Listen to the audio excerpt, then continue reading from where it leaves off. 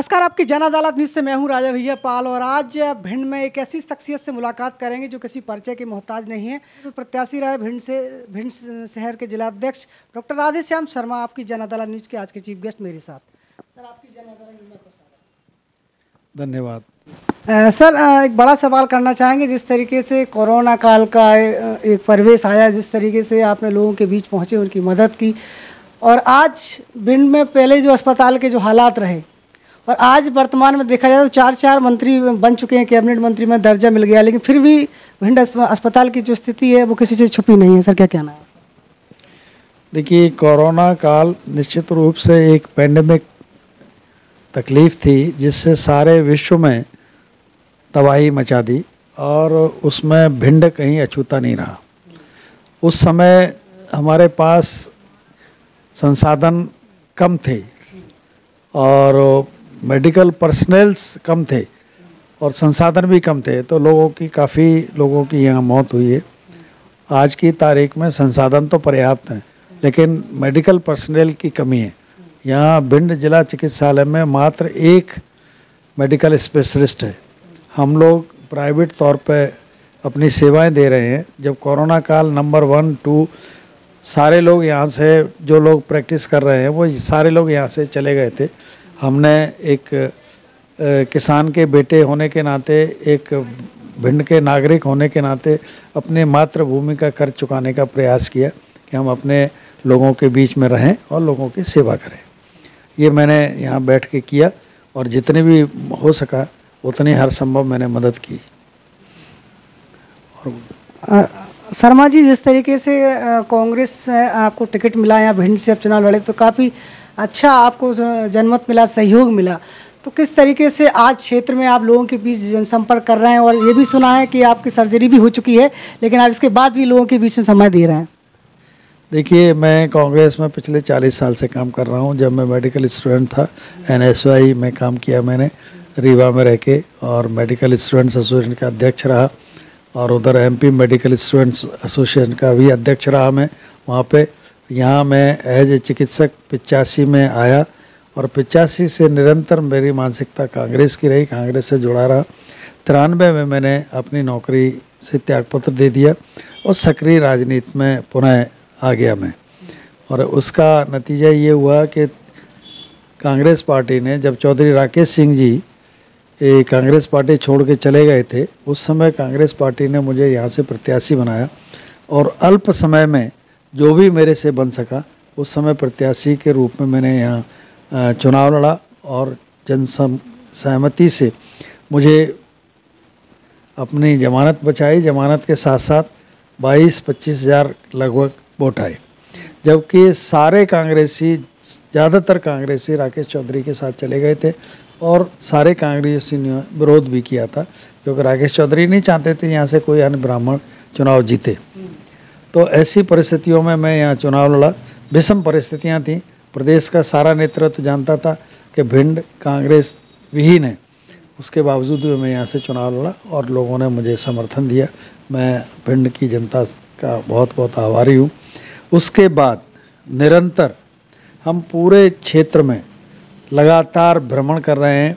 भ्रमण के साथ साथ मैंने पूरे क्षेत्र में, इवन ज़िले में यहाँ पे स्वास्थ्य शिविर लगवाए मल्टी स्पेशलिटी कैंप लगवाए हार्ट के शिविर लगवाए गैस्ट्रेंटरोलॉजिस्ट के शिविर लगवाए मेगा कैंप लगाते थे, सगरा में लगाया, उम, उमरी में लगाया और अकोड़ा में लगाया, भिंड में गांधीनगर में लगाया, इधर आपका भीमनगर में लगाया और उधर सरकारी इमामबाड़े में लगाया सुभाष नगर में लगा। मूल साल में दो मेगा कैंप लगाते थे इसलिए अभी कोरोना की वजह से कुछ समय के लिए मैंने ये कैंप लगाना बंद कर दिया है, क्योंकि परिस्थितियाँ अभी ठीक नहीं है, इसलिए उसको बंद कर रखा और जहाँ तक भ्रमण का कार्य हमारा कोई दिन ऐसा नहीं होता होगा जिस दिन हम अपने फ़ील्ड में आज भी सुबह में गया, सुबह नौ बजे ऐसे मौसम में निकल गया था। रछेड़ी, अकोड़ा, लहरौली, बिलाव होता हुआ लोगों के यहाँ जनसंपर्क किया और निरंतरता बनी रहती है। कोई दिन ऐसा नहीं रहता जिस समय सुदूर अंचल तक हम नहीं जाएँ, चाहे वो पांडरी हो, चाहे द्वार सनाबई हो, चाहे टैनगोर हो, जखमौली हो नया हो, सगरा हो, ये सब जगह हम जाते हैं और सब जगह संपर्क है। पहले में, आज में ज़मीन आसमान का अंतर है। और निश्चित रूप से हमारे भिंड ज़िले के वरिष्ठ कांग्रेसी, अभी मैंने चौबीस अक्टूबर को, उधर जो उपचुनाव चल रहे थे, उस समय डॉक्टर गोविंद सिंह जी का भ्रमण कराया था। और जन समर्थन, जन सैलाव अकोड़ा में एक कार्यक्रम हुआ था। एक कार्यक्रम लहरौली में हुआ था, एक नए गाँव में हुआ था, खैरा श्यामपुरा में हुआ था।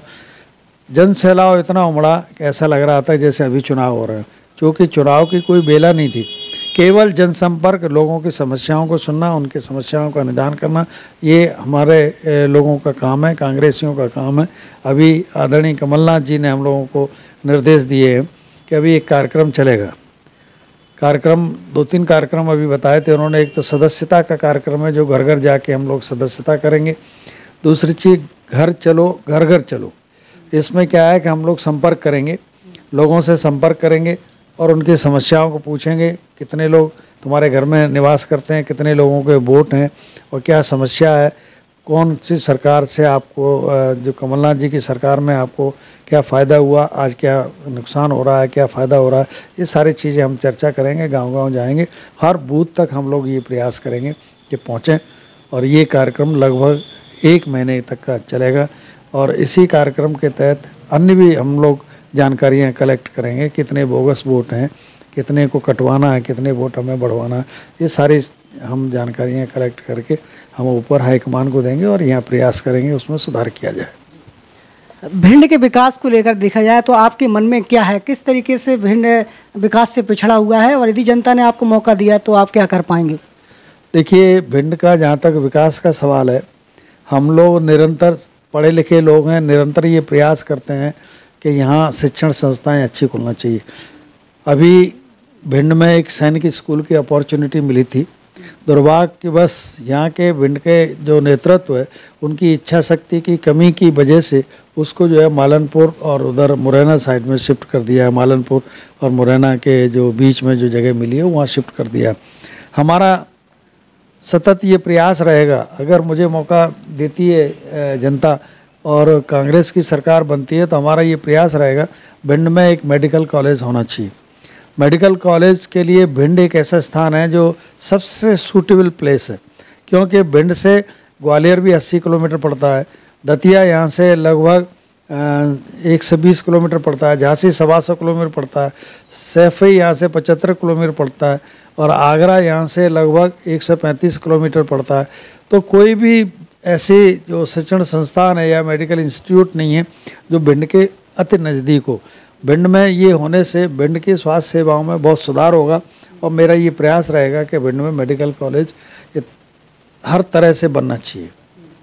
ये मेरी कामना है और मैं दूसरी चीज़ छोटी छोटी से कार्य हैं, जैसे कई जगह ऐसी संस्थाएँ हैं, जैसे उमरी है। उमरी एक बड़ा कस्बा गाँव है और उसको नगर पंचायत घोषित किया जाना चाहिए।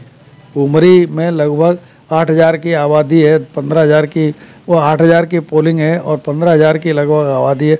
इसको समझ में नहीं आता सरकार को कि ये नगर पंचायत क्यों नहीं घोषित किया जाता। ऐसे ही अटेर में नगर पंचायत होना चाहिए।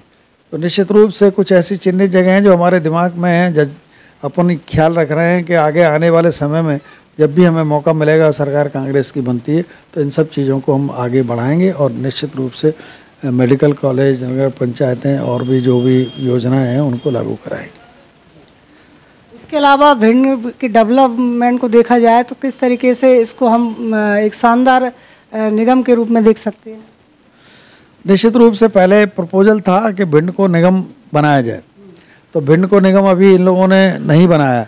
तो भिंड को निगम बनाने के लिए और भी हमारे दिमाग में योजना है। यहाँ भिंड में कई जगह ऐसी पड़ी हुई हैं जिनको बहुत अच्छी तरीके से डेवलप कर सकते हैं।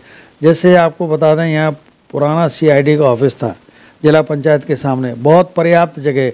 वहाँ पे हाउसिंग बोर्ड को दे के और एक अच्छा कॉम्प्लेक्स बन सकता है मल्टी स्टोरी बिल्डिंग बन सकती है, पुलिस के क्वार्टर बन सकते हैं, नीचे मार्केट निकल सकता है कॉमर्शियल कॉम्प्लेक्स बन सकता है, वहाँ बनाया जा सकता है।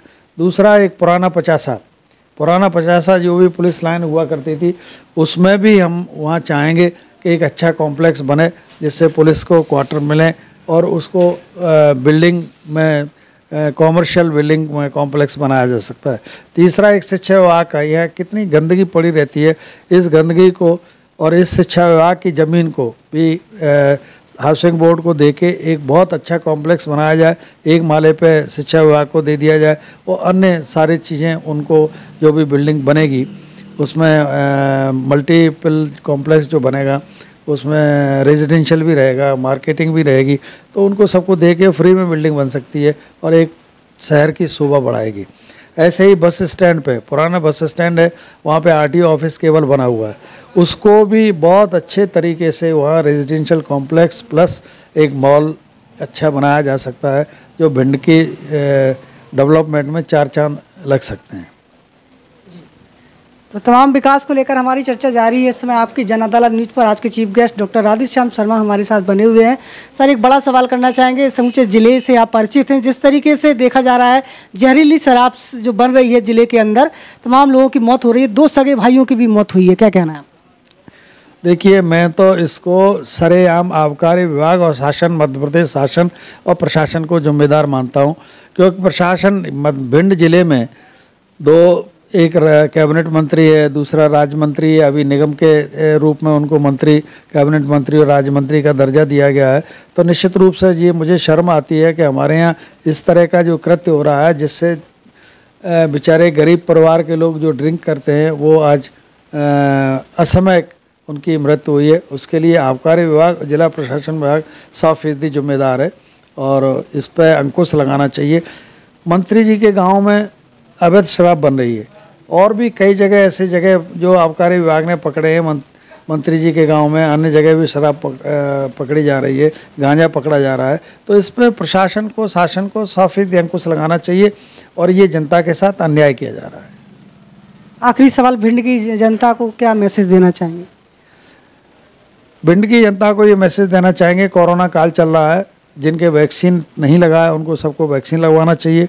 जिनको जो पात्र हैं थर्ड डोज के लिए, वो भी वैक्सीन उनको लगवाना चाहिए। दूसरा, हमें साफ़ सफ़ाई के लिए, स्वच्छता के लिए थोड़ा सा खुद भी पहल करना चाहिए। इसमें और सर्दी का सीज़न चल रहा है, विशेष रूप से ब्लड प्रेशर वाले लोग, हार्ट वाले लोग, इनको सावधानी बरतना चाहिए, सर्दी का बचाव करना चाहिए। और घर से कम निकले दूसरी चीज़ लकड़ी जलाएँ अलाव जला के बैठें उससे अपन सर्दी का बचाव कर सकते हैं मौसमी बीमारियों का बचाव कर सकते हैं। तमाम मुद्दों को लेकर आज के खास गेस्ट हमारे साथ बने हुए थे। फिर किसी बड़ी शख्सियत के साथ आपकी जन अदालत न्यूज़ पर फिर हाजिर होंगे। जुड़े रहिए हमारे साथ। नमस्कार। और आपकी जन अदालत न्यूज़ को लगातार बढ़ाते रहिए। जुड़े रहिए आपकी जन अदालत न्यूज़ के साथ। नमस्कार। Evergreen colours India private limited. रंग है तो जीवन है। Stay home stay safe